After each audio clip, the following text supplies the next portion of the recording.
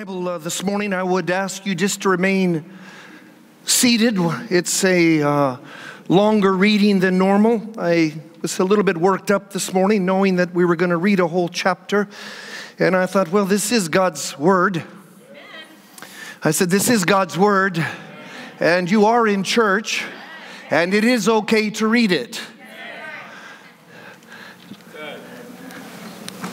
Genesis chapter 12, verse 8, and we'll read all the way through chapter 13, which will be our foundation this morning.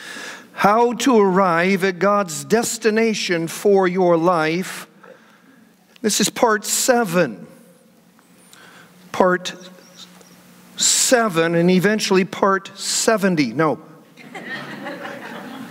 if you're visiting with us, there'll be enough in here. I am sure that God uh, will uh, minister to you, so don't feel left out. We have the CDs over there as well if, uh, if uh, you so desire. Genesis chapter 12, verse 8, and I'll be reading out of the King James Version. Tell me if you have it. Yes. I need a big amen. Yes. And Abram removed or traveled uh, unto a mountain on the east of Bethel and pitched his tent. From Bethel on the west and Ai on the east, and there he built an altar to the Lord and called upon the name of the Lord. And Abram journeyed still for, uh, toward the south. And there was a famine in the land, and Abram did what, beloved? I need you to come with me. What did he do? He went up to Egypt What's your Bible say? He went down to Egypt to sojourn there, for the famine, notice, was very grievous, King James says, in the land. And it came to pass, when he had come near to enter into Egypt, that he said unto his wife Sarai, Behold, now you are a beautiful woman to look upon.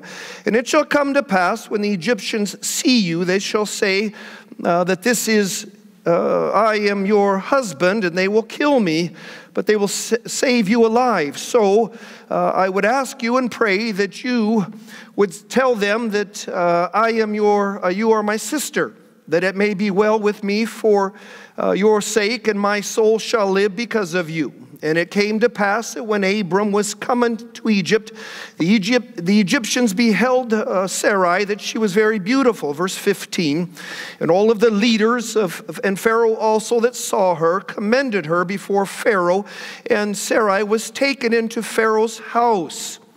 Verse 16, and he entreated Abram well for her sake, and gave him sheep, oxen, donkeys, maid servants, men servants, and camels. Verse 17, and the Lord plagued Pharaoh uh, and his house with great plagues because of Sarai, Abram's wife. And Pharaoh called Abram and said, What is this that you have done unto me? Why did you not tell me that she was your wife? Uh, why did you say she is my sister? Then I, I might have taken her to be my wife. Now, therefore, behold, this is your wife, take her and go on your way. And Pharaoh commanded his men concerning him, and they sent him away, his wife, and all that he had. Chapter 13, verse 1. And Abram did what? One more time, did what? He went up out of Egypt, he and his wife, and all that he had, and Lot was with him unto the south. And Abram was very rich in cattle, silver, and gold. And we, he went on his journey from the south, even to Bethel, unto the place where his tent had been at the beginning between Bethel and Ai unto the place of the altar which he had made there at first, and Abram called on the name of the Lord. In verse 5, and Lot also went with Abram, and he had flocks and herds and tents.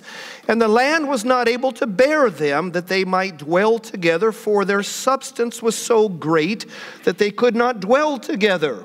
Verse 7, King James says, And there was strife between the herdsmen of Abram's cattle and herdsmen of Lot's cattle. The Canaanites and Perizzites and Mosquitoites also dwelt there. Verse 8 And Abram said unto Lot, Let there be what? One more time, verse 8 Let there be what? No strife. I pray between me and you and between your herdsmen and my herdsmen, for we are related. We are brothers. Is this not the whole land before us? Separate yourself, Abram said, I pray, from me. And if you take the left hand, then I will go to the right. And if you depart to the right, then I will do what? I will go to the left. And Lot, verse 10, lifted up his eyes and beheld all of the plain of the Jordan, that it was very well watered everywhere, before the Lord destroyed Sodom and Gomorrah.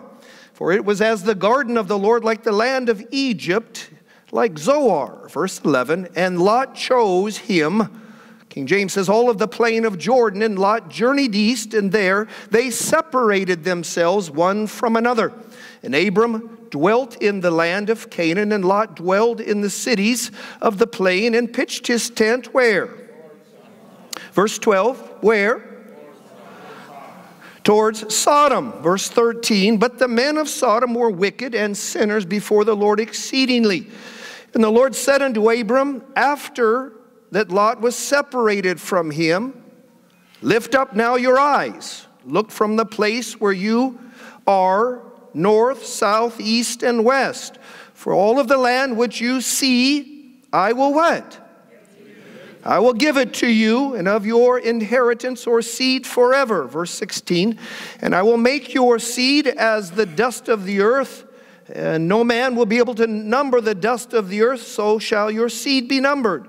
Verse 17, now arise, walk through the land in length of it, in the breadth of it, and I will give it unto you. Verse 18, and then Abram removed his tent and came and dwelt at the mighty oaks of Mamre, which is in Hebron, and there he built an altar unto the Lord. And I'll just read to you one more scripture just to uh, tighten this up a little bit. First Corinthians chapter 10, verse 1 through 6.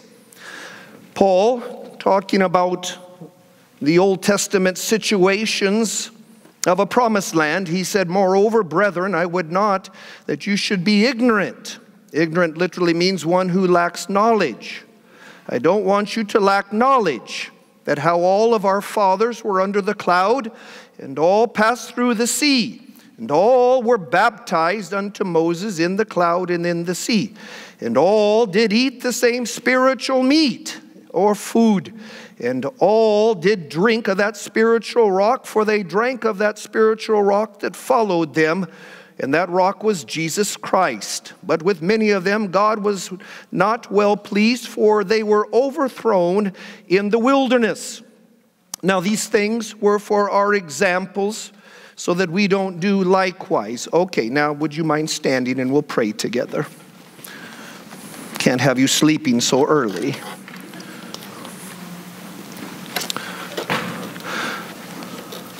Father, I again am so uh, grateful for the opportunity to share your holy living word.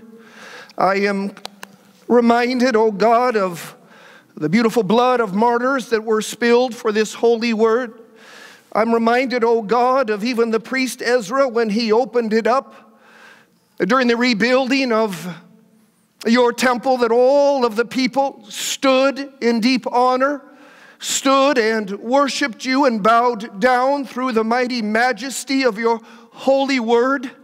And I pray, oh God, that you would continue to use your word to change me and to change us. Continue to be so grace filled that you would call us into a destination that you have for each one of us that we might declare that you're a glorious, magnificent, wonderful God. I thank you, O God, in the name above all names, Jesus Christ. Amen. Amen. You may be seated. How to arrive at God's destination for your life. I'm going to say this until this series is over or until we're all raptured. God has a destination for your life. I need to have a good amen. I said, God has a destination for your life. Don't look at where you are, look at where God is going to take you. Don't be anchored into your history. Trust that God has a destiny for your life. He told Israel one of the reasons why you couldn't come into the uh, promised land is that you did not consider your destiny. And God wants to bring every single one of us into a promised land that He has for you. He has a promised land for you spiritually. He wants you and I to grow spiritually. He has a promised land for healing of every sick body. He has a promised land for your occupation, vocation, and for your finance. He has a promised land for your marriage, for your family, for your single life, and for your future. We've mentioned, though, this destination that He has for you and I isn't going to happen by accident. You're not going to fall into a promised land or a destination that He has for you. It's not going to happen even though it's God's will to get you there. You've already been taught that many things happen that aren't God's will. We read in 1 Corinthians 10 where two and a half million people, God wanting to bring them into a promised land, but many were destroyed in the wilderness. They drank from the spiritual rock, which was Christ. They ate from the manna, which was food from heaven for them, and yet they did not enter into their promised land. I ask you today, beloved saints, and those watching uh, from afar, does God have a destination for you? Does God want to bring you into that destination? If you and I follow the keys of Abram, Abraham, you and I have the greatest possibility of God bringing you into that promised land. Well, why Abram? Why him? The Bible calls him in Romans 4:11. He is the father of your faith. He is the father of those who believe. Bible says in the book of Isaiah, when Israel began to stray, Isaiah 51, 1 through 2, the prophet came to them and he said, Now hearken. Hearken unto me, for God says unto you, Go back to the rock from which you were hewn. Go back to the rock from which you were hewn. Look unto Abraham your father for I called him and blessed him and increased him. That in this model of a father, Abram, there are keys, for he got into the promised land, and through these keys that we find in his life, I am assured that God is going to get you, your family, your children, your loved ones into the promised land He has for your life, too. If you believe that, could you give the Lord a shout and an amen? Today, my hope is just to recap some of the keys of the last six hours. I'm not going to try to touch them. I'm just going to mention them, and my heart for you is that once I mention some of the keys that we've already uh, have seen in the life of Abram, that if those are in you, you just put a little check in your heart. I got that. I have that key. I, I, I'm, I'm there with that. And if not, I would encourage you to grab the CDs and begin to install Automobile University. Second thing I want to endeavor to do today uh, is I, uh, I, want to make sure you and I uh, react uh, when there's a famine in your land. You're, you're not going to get to the promised land without having to react properly to a famine in your land. And I want to make sure you and I uh, choose well during that time. Number three, I want to just spend a few minutes on family tensions, how to deal with family tensions. That should bring a good amen. Number four, uh, we'll touch on the six cities of refuge. That's important to know. Number five, somewhere in there, the slow steps leading to backsliding, the slow steps that lead to backsliding, and then how vision begins. So let's let's begin now in terms of some of the keys we've already discovered, and I'm not going to uh, uh, push into those. We've already covered them, but we've learned key number one that uh, uh having a revelation from God is paramount. We mentioned Acts 7:23 that the uh, God of glory appeared to Abraham. And the cry for you as a Christian and I is that God would continue to release a revelation of himself. With each and every revelation of who he is, it calls you and I to build an altar. It calls you and I to greater sacrifice to him. Every time God would reveal himself to Abram, Abram would build an altar. There would be greater levels of sacrifice unto God concerning his life before him. Often I could look at Christians' lives to see what kind of sacrifice is happening in terms of their life before Him. It tells me most often what kind of revelation they have had in terms of their walk before God. Number uh, two, see how slow I am today? Two is uh, separation.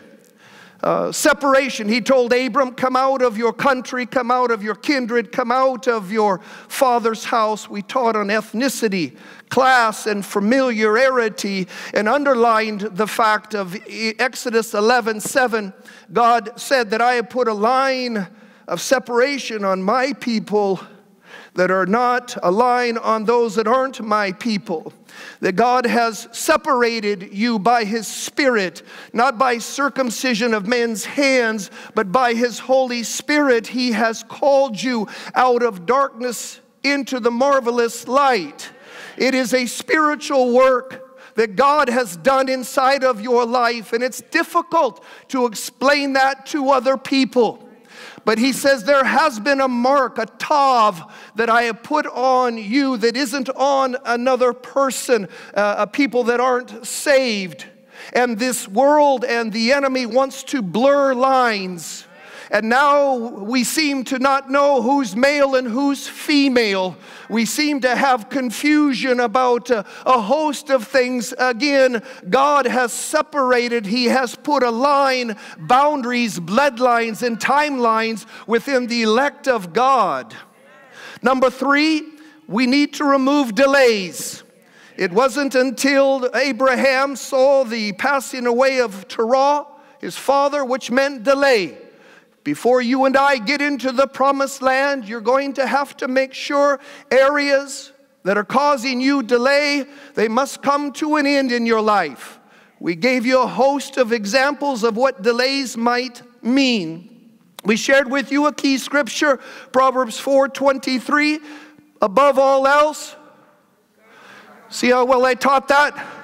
Above all else, guard your heart, for out of it what? Flows the issues of life. One of the causes of delays are that issues came into my heart. And he wants to make sure that in the course of human life, you don't allow the issues to come in. He says, guard your heart, for issues shouldn't be coming out. They should have never been brought in. Number four, you have learned that we serve a God of not just a second chance, but what? God of another chance and another chance and another chance. That should make someone grab and shout and run around this campus because God has given you and I so many chances. Man has said, I'm not giving you anymore. The judge says you're not getting any more chances, but you have a greater judge, and it is the judge of the living and the dead. And he says, I am a God of another chance, another chance, another chance, another chance, and another chance. I'm grateful for a God of another chance in my life. He told Abram, Look, you've wasted so much time. You haven't separated yourself. You got Terah. It cost you 15 years of your life. And he says, Again, I call you Abram and release to him his de- decree of destination. You serve a God of another chance and another chance and another chance. Key number five is that you learned about the three types of righteousness. Abram, the Bible says he went to Shechem, a place of strength, the Hebrew is, and he, he sat underneath an oak tree, which we've shared with you scripturally, that speaks of righteousness. And he was at a region called Moreh, which meant teaching. God was teaching Abram about righteousness and how that can be a strength to his life. A strength to his life. We didn't take time, but there were probably 60 scriptures showing that the great oak tree is, is symbolic of righteousness. When God was viewing Gideon's life, he sat as a, as a uh, um, theophany um, as God as a spirit, he clothed himself as an angel and he sat under an oak tree, depicting righteousness. And he viewed Gideon's life and he sat there and he watched him. And, and you know, God watches you, beloved.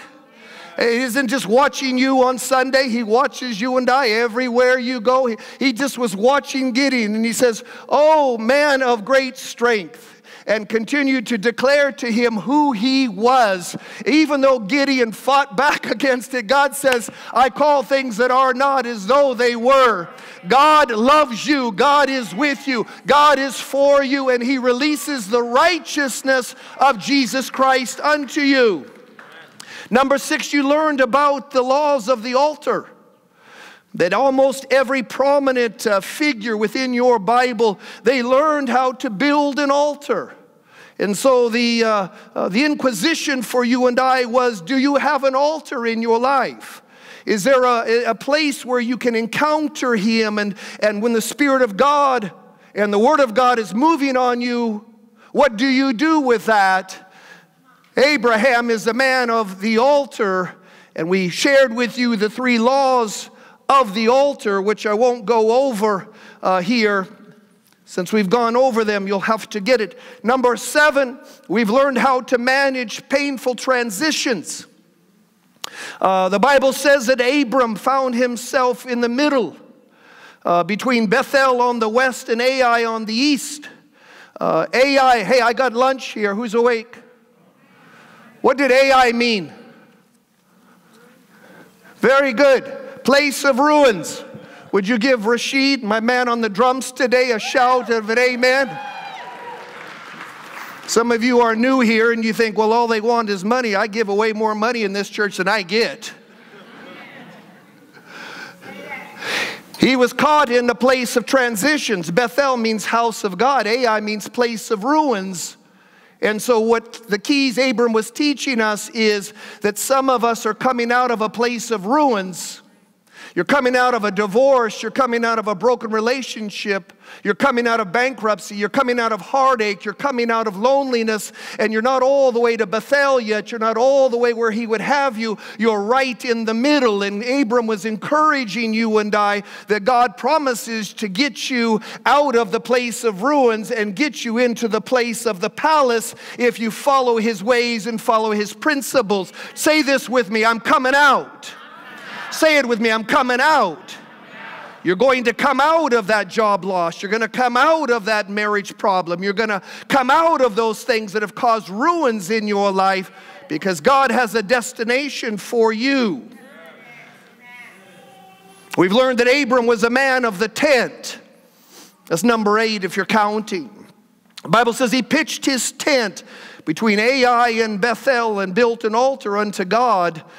And we mentioned last week that the tent speaks of uh, growth, it speaks of change, it speaks of progression. And I posed the question primarily for me, asking you if you're growing spiritually, asking you if there is uh, any indication in your life that you're growing spiritually. Abram was the man of a tent. He's speaking, hey, I'm endeavoring to grow spiritually in my life. He was called out of his father's house, a, a place of stability, a place of uh, security. And now the Bible says in uh, uh, Hebrews 11 9, by faith, Abram sojourned, not wandered, sojourned, looking for uh, a, a country, dwelling in tents. For he was looking with, for a city with foundations whose builder and architect is God. So I asked the, the question because this is probably one of a handful of the most painful things for me in terms of this post or position is are God's people growing? Are you growing? And I run through the Rolodex of your life often most often during the course of an end of a year to go, is she growing? Is he growing? And uh, I evaluate what I'm teaching, how I teach, and why I'm not able to reach this person, and yet this person is growing. And so I guess I take a lot of responsibility for your growth. I don't take all of the responsibility because you are a priest and you are to work out your own salvation with fear and trembling. The law of the altar was that the priest was supposed to put wood on that altar to keep it burning all through the night and all through the day. I can't do that daily for me, and I can do it for me, but not for you. And so there's a lot uh, that goes into this. So let me ask you, since we're here, are you growing? You're not convincing me. Are you growing? I want to make sure you're growing in God. Why? because the Bible is pretty strong in terms of this position where God says, You are responsible for that flock. That if you don't share with them the totality of this word, there'll be blood upon your forehead and you will be held accountable. So I don't take this as an occupation. This is not an occupation that I would pick. I need a good amen. This is not an occupation I would pick, it is a calling. You may not know this, but I hate getting up in front of people. I get diarrhea. so after I get up and have coffee, you know what happens. I almost throw up every single time, almost 30 years of doing this. Tina knows if she has a birthday party for me and invites anybody that we are in divorce court at least for a day. Why? Because I don't want that attention. I don't want to be that. I don't like that. And the only way for me is to pray where I'm able to stand up. Are you growing? Hey, your life before God. One of the uh, sermonettes I was going to do basically is that all are all stars equal in eternity. Are, are all Christians going to be equal? Not going to be equal.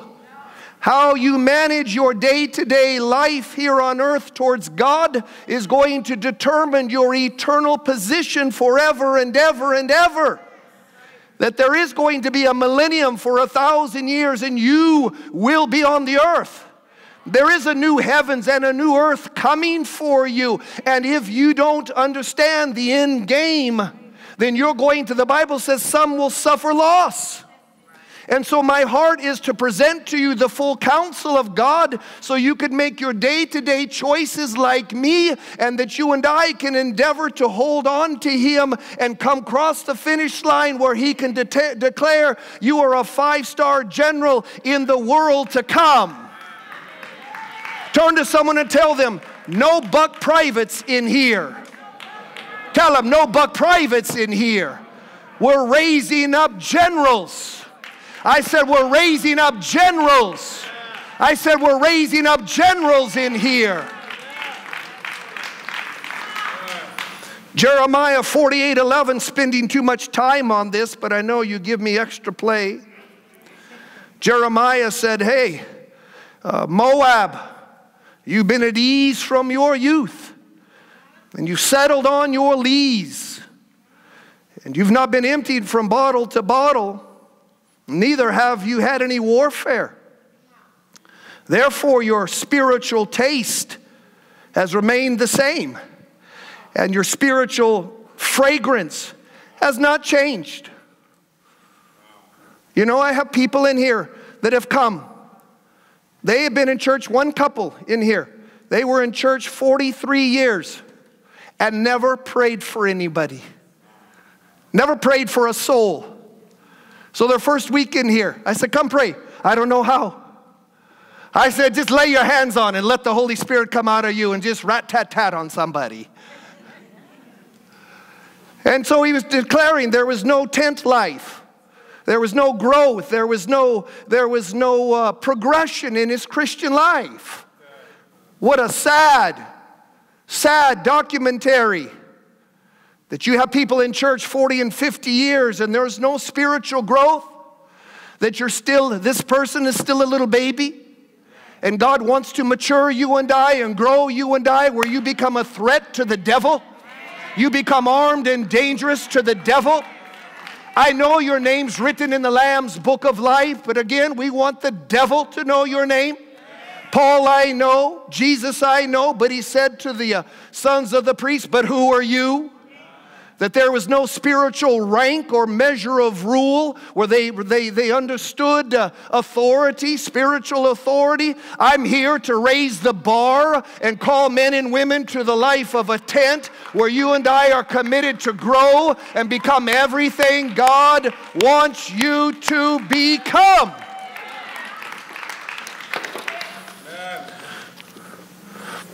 Now we're here, new ground. You made it. You have all, all uh, eight keys. Turn to someone and say, I got all those eight keys now. I'm good. I'm good. what do you do when you're in a famine? How do you manage a famine in your life? Not so much of food, a famine of companionship, a famine in relationship, a famine in sensitivity from your spouse. They just don't get me. They just don't, they just don't feel me. A famine in your finance, a famine in hope, a famine in vision and direction, a famine in dreams being realized, a famine in God's spirit, a famine of relational loss. How do you manage famine in your life? You're not going to get to the promised land without managing a famine well. Abram, the father of our faith, I so love this because he was filled with uh, stumblings. He was filled with um, you know, pitfalls and, and uh, things that would happen to him. So it brings me encouragement, not because of his perfection, but because of his weakness. Because of his weakness. And so here he had, the Bible called it a grievous famine. A grievous famine. Now, are you going to go through a famine of some sorts? How you and I manage the famine is key. One, never make a decision in your dark place. Say this with me I will never make a decision in a dark place. May God sear that in your heart that you must let the famine clear away, the clouds blow away before you make any choices. Number two, let me ask you in your reading where did Abram go? He didn't go to uh, Austin. Where did he go? He went down to Egypt. If you've been in this uh, church for any length of time, what does Egypt symbolize? The world system. 2 Corinthians 4 4. The God of this world has blinded the eyes of the unbelieving, that they might not see the light of the gospel of the glory of Jesus Christ. Satan has blinded their eyes, deadened their ears, so that they might not see, nor hear, nor turn to me, saith the Lord. This world system is governed by the God of this world, and his name is Lucifer. His name is Satan. He is the king of darkness, and he endeavors to use the world system to progressively bring humanity into the fiery abyss for eternity and eternity and eternity. If you come through a famine and you're in a famine where there is something you want, that is missing. Where do you go? Abram went down to the world, down to Egypt. That isn't where you want to go.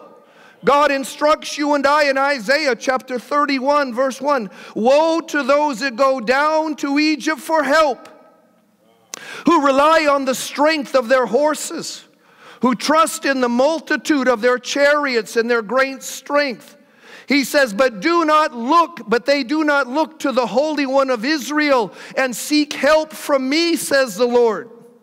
Isaiah 30, verse 2 Who will go down to Egypt without consulting me, the Lord thy God? Who will look uh, to Pharaoh for protection and to Egypt for shade and for refuge? Here, Abram, he went down to Egypt and there was tremendous consequences. Tr- tremendous consequences. Say this with me. No Egypt. He had consequences. And the, and the sad resume, this not only happened one time to him, it happened twice. And not only did it happen twice to him, Isaac, his son, did the very same thing in his famine. Beloved parent and grandparent and, and Christian, how you choose to react to your famine is going to have an effect on people whether you realize it or not. Whether you realize it or not. The Bible says no man or woman lives or dies to themselves. He went down to Egypt, and now, because he was yoked with Sarai, now Pharaoh began to go ahead and almost began to make love and intimacy with Abram's wife. Now, I have a good uh, uh, encouragement for some that have found themselves in a mess because of what someone else has done, and you're yoked to them. Some of the most painful trials to come through isn't necessarily what you did, it's what someone else did that caused you great heartache and great pain. And now you're in this place of heartache, pain, brokenness like Sarai. So here she is, married to Abram. And he says, basically, can you just do a little life for me?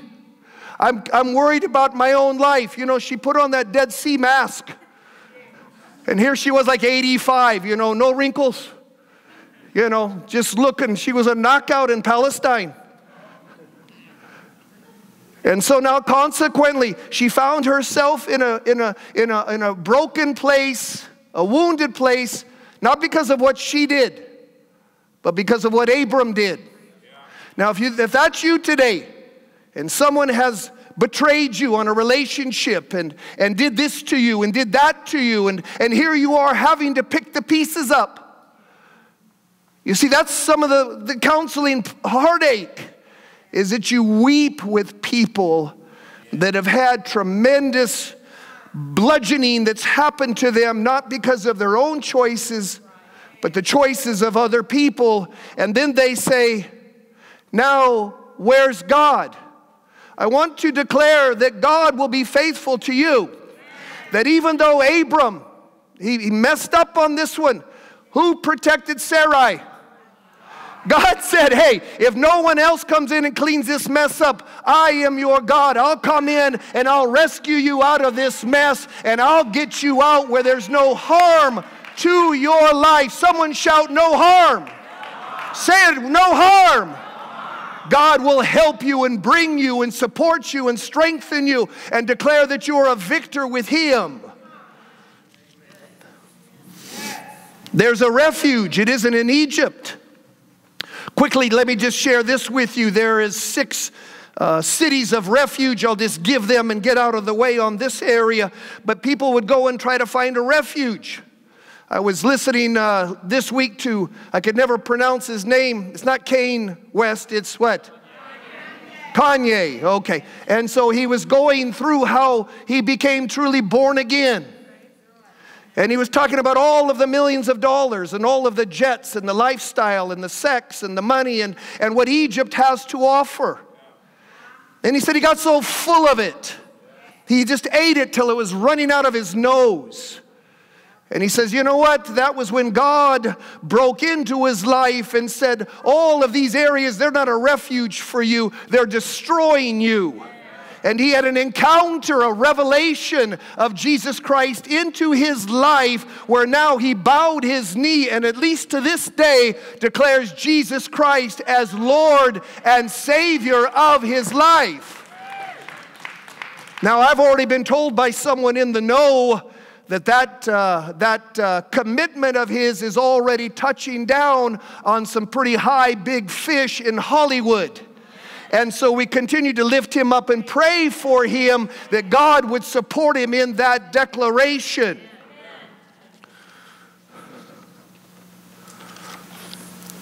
Six cities, are you ready? Real quick. Jude, uh, excuse me, it's in Joshua 20 and Numbers 35. Egypt isn't a refuge that, uh, that that alarms a refuge. People wonder, what's that alarm mean? What meaneth that? That mean that meaneth 30 more minutes. Did that drag or did that go okay? You're a good Christian. Let me give you quick six, six refuges. Now, if, if you want more of this, we did a message a couple of years ago entitled The Manslayer and His Refuge. The manslayer and his refuge. I'm just going to give these to you. And uh, they're found in uh, Joshua 20 and Numbers 35. The first place of God's refuge is called Kadesh, and it's a refuge for the unclean. The Hebrew literally means Kadesh, a holy place. And so there was a refuge for the unclean. The second city of refuge is called Hebron. It literally means in the Hebrew fellowship. It's a refuge for the lonely, for the homeless. The third refuge is called Bezer. It means a stronghold. It is a refuge for the helpless. The fourth city of refuge is called Ramoth. It means exalted. It's a refuge for the hopeless. The fifth city of refuge is called Golan. It means to be separated. It's a refuge for the tempted and for the worldly. And lastly, number six, the sixth city, Shechem, it means strength. It's a refuge for the weak. Now, all of these cities symbolize really found in Jesus Christ. He is your rock, He is your refuge. He is the place you and I go to when I'm in a dark place. So, kiss and tell 30 something years ago, uh, Tina and I, I received divorce papers. Turn to someone and say, What the? That's a pretty dark day. You know, we can talk about it, but when you go through some of those things, you go through some of those things, you have choices to make. Guess who calls? My ex girlfriend. One day after I got some divorce papers. Hello? Debbie Samolin? What timing? Turn to someone and tell them the devil knows how to time things. Can I have a good witness? I haven't talked to her in like 30 years. All of a sudden she called, How'd you get my number? Oh, from such and such and such and such. Hey, do you want to meet at the mall? Such and such and such and such. Now I'm, I'm, I'm, in, a, I'm in a famine. I'm bleeding everywhere. And now she calls. Don't you know what I did? You have to come back next week. That's how the days of our lives continues for like 90 years. They just, they just keep that out there, and you're like, well, I got to see what happened to Sarah. I mean, what happened with Abram? I got to come back and find out what happened to her. 90 years later, it's still the same stuff, right? I tell you all of that for you to make sure that when there is something that's taken from you or something that's missing that you want, you and I need to run to the refuge, Jesus Christ. Lay your soul out to Him, cry to Him, weep to Him, allow Him to be all He is for your life.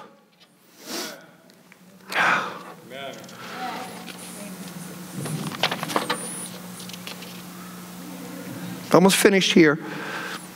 Bible says in Genesis 13, 1 through 4, that after those lessons, Abram went up from Egypt.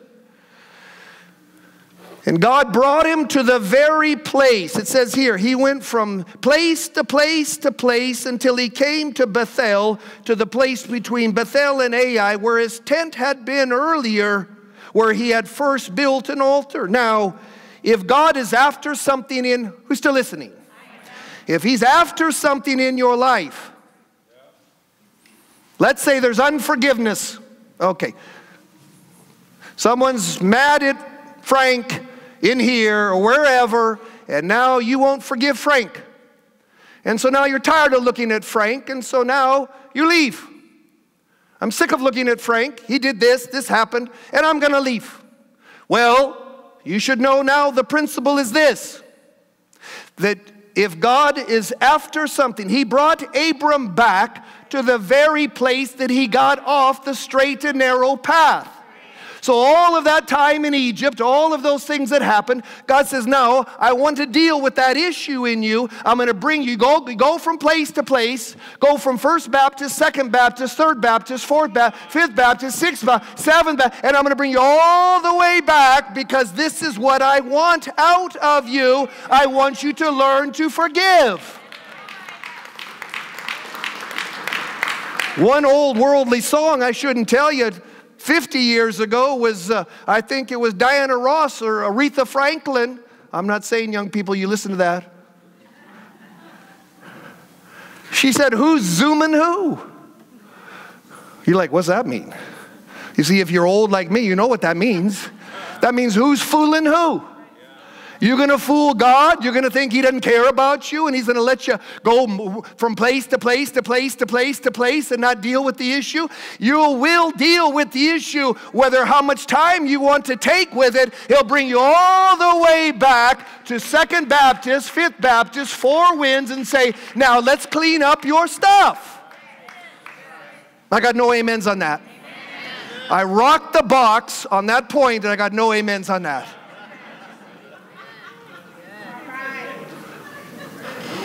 Did you hear that point? So if you don't and I don't let God do the deeper work, you're going to go from place to place to place to place, and you're going to point all of the reasons why. And let me tell you, principally, what's going to happen? Come on, what's going to happen? He's going to bring you right back to where you were at first and say, now let's pull the root out and get things cleaned up because I love you enough to not let you get away with it. Marquez, I just rocked the box on that. I got nothing for that. I Got nothing for that.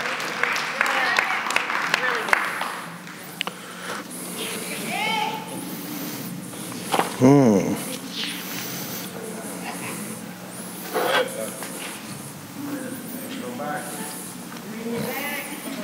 The new people are like, My God, is it over?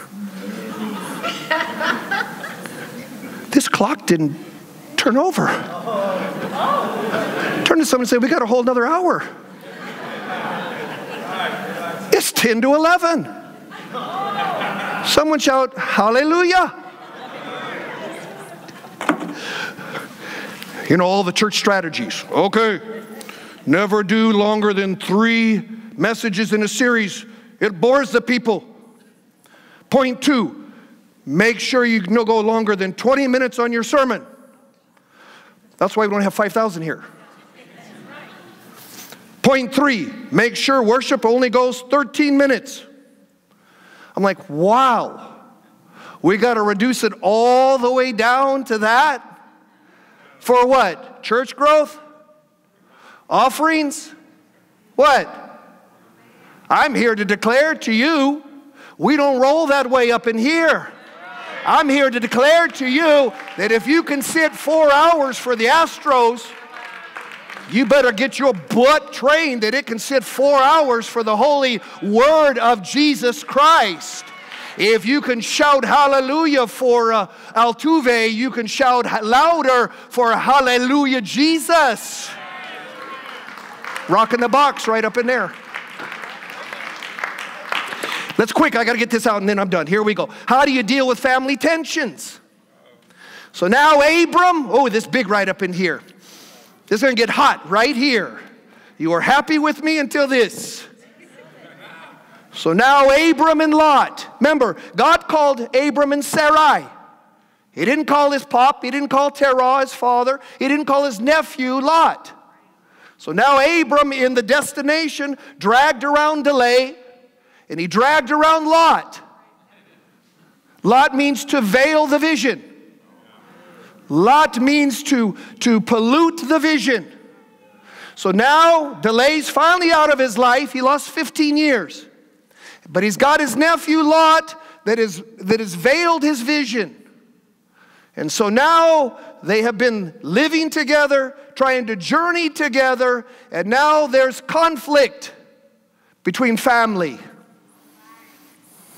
Mm.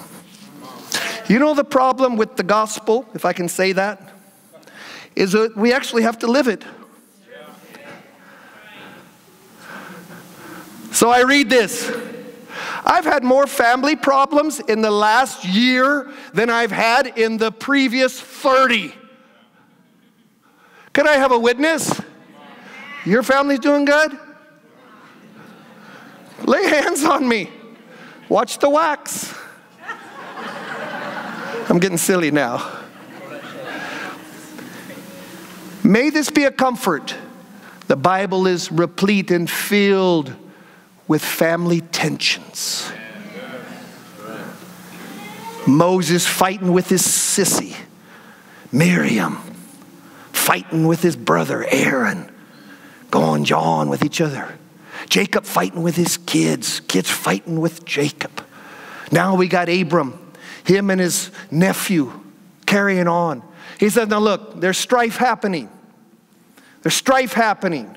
So Abram says, now Abram is the pioneer. Abram is the uh, is the uh, the master. He is the uh, he is the uh, um, his rank and measure of rule. Please listen to this. Was much higher than his nephew Lot.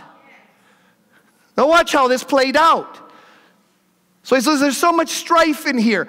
Abram wanted peace in his home in your family. Now, we're not going to be able to dig all of this out, there's too many situations, but there should be a, a desire to have a refuge of peace. That's why the devil wants unrest and division and strife and all of that in marriages and in families. And so Abram's like, look, we've tried to work this thing out, but there's so much strife. There's no peace when I come home. It's hell out here. I need a refuge of just peace so there's no fighting. No fighting. So he said, Now I'm not suggesting this for you, I'm telling you what he did. He said, Let's separate. Let's separate ourselves for a while. Let's get this cleaned and clean the air out a little bit. I pause to say, Divorce, that bullet is always in your gun, but that's the last bullet that should be pulled. I separate people and say, look, let him live without you. Let him feel that without you. Maybe that'll make him wake up and go, What did I just lose? Now, I'm not saying it's always the guy, but a lot of times it's the guy. I should have a big amen from the women. Well, I love you, Pastor Steve. Uh, I'm glad you said that. Someone shout peace. Blessed are the Matthew 5 9. James 3:17 watch wisdom from above is first listen pure wisdom from above is first pure and then peaceable gentle watch this easy to be entreated why am I afraid to talk to you? Because there's going to be this explosion that comes out of you. Why is it? What am I? What am I? What root am I touching? He said, let's part company. Let's part company. I'll pause and ask you in terms of this what's veiling your vision? You got a lot with you that needs to like separate. You have a poor self image about yourself. Are you believing lies about yourself? That's going to taint your vision. You're made in the image of God. I said, You're made in the image of God. Is there fear? But the past, those are lots, they need to be separated in your life. He says, okay, let's part company. Watch this now. Here we are. The Bible says that Lot lifted up his eyes. He lifted up his eyes. The Bible says he saw and beheld this area likened unto the Jordan, well watered. That word saw or beheld literally was the Hebrew raha, and it meant to fantasize and to be filled with delusion. And then he says he chose for himself. He didn't even consult Abram. Wow. He didn't even consult Abram. So much arrogance, so much pride, so much foolishness. He chose for himself. Who's still listening? Abram said to him, You choose, you go left, I'll go right. You go right, I'll go left. Wow. Abram was certainly due, in terms of his rank and authority, to have the permission to pick which direction that he should go. And yet, watch this now. He humbled himself, understanding the foolishness of Lot.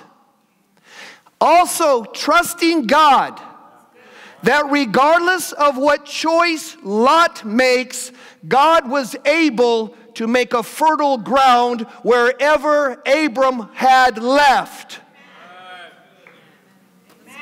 Do you trust God enough that if he got all of the inheritance, that if she got all of the inheritance, that the, that the uh, promotion was given to that person, do you have enough trust in God like Abram? I trust him no matter what decisions the employer has made, that God has a plan for my life.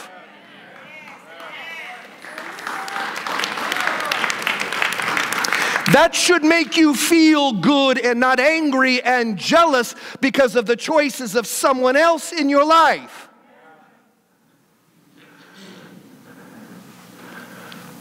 Gamaliel, the light of Asia, who was instructing Paul, he was before the Sanhedrin. The Sanhedrin is like the supreme court of, of the law. And they were angry with the disciples. And he said, Now look, if their purpose or activity is of human origin, it's going to fail. But if it's from God, you will not be able to stop these men. You will only find yourselves fighting against God.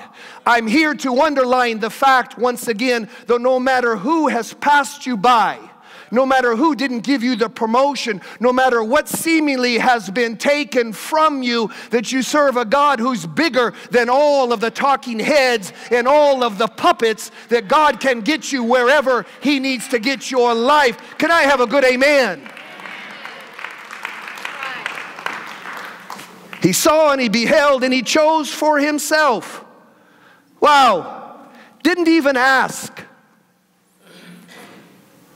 Didn't even ask. You got Mr. Christopher over there. You hear his testimony coming out of the pit to the palace.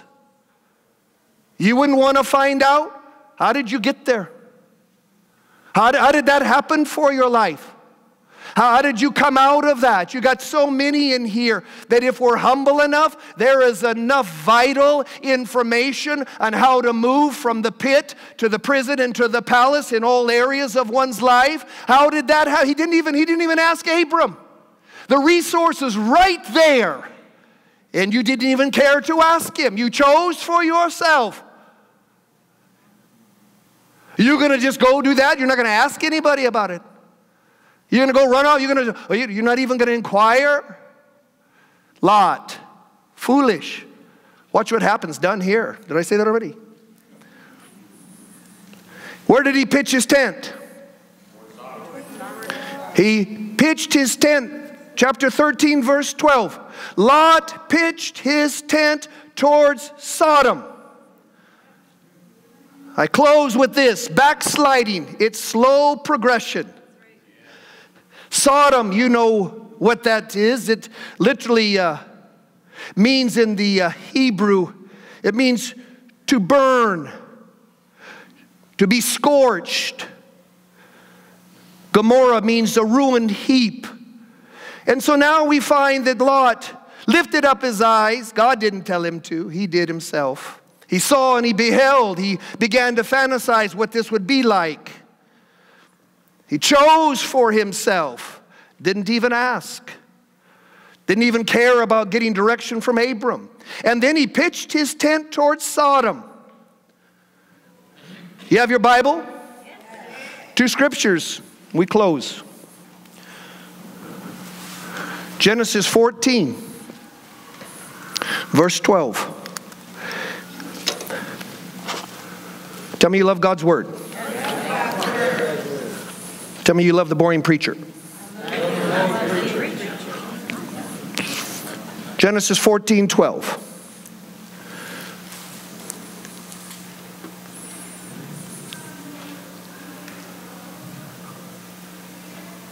Tell me if you have it.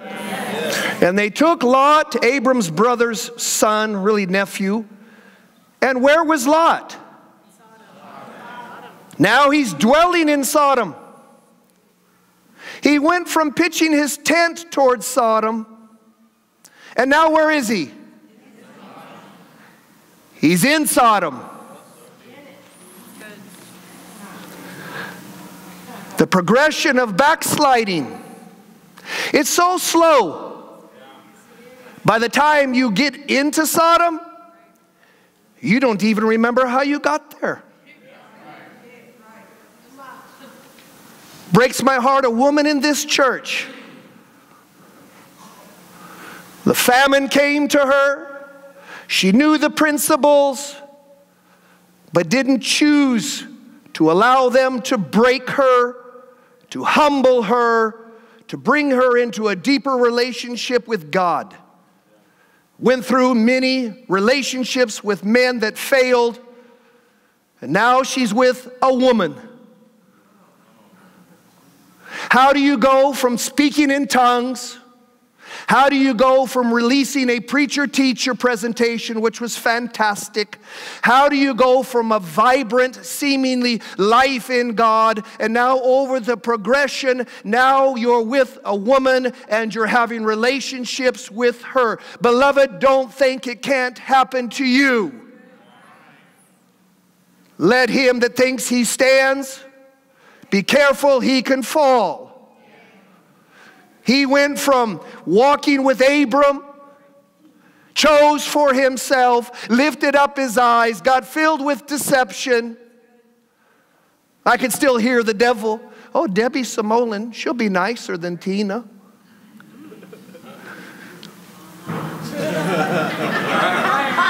what else?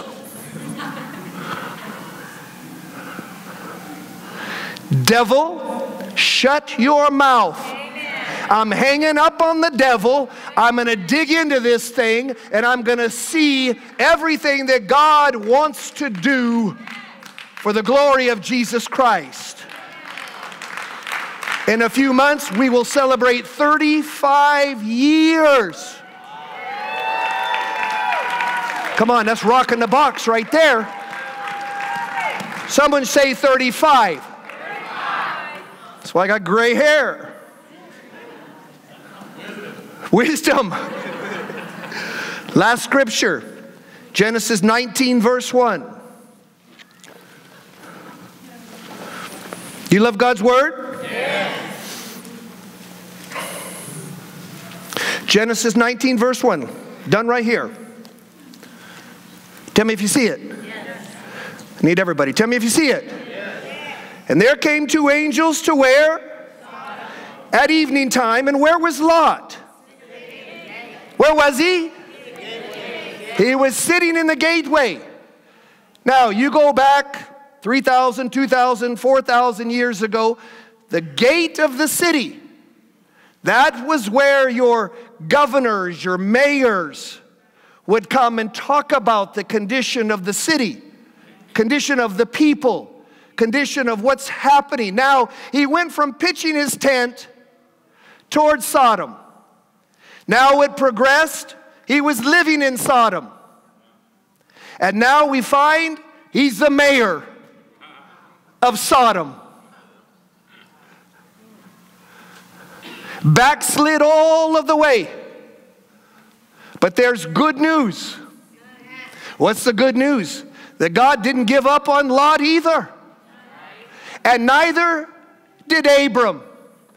After years passed, and my boy Lot got into some trouble, God comes on the scene and says, Abram, you're my friend. Shall I conceal what I'm going to do to my friend? He said, No, I'm going to tell you. And God began the process, as you will see, that He restored and saved Lot and his family and reunited family tensions where it became family peace. Sometimes those you need to separate from, wait a few years. Maturity comes, enlightenment comes, forgiveness comes, humility comes, and now Abram is able to go to Lot, and Lot says, Uncle, I was a mess. Can you get me out of here? And he says, Only by the grace of God. Give the Lord a praise, would you? Would you stand to your feet?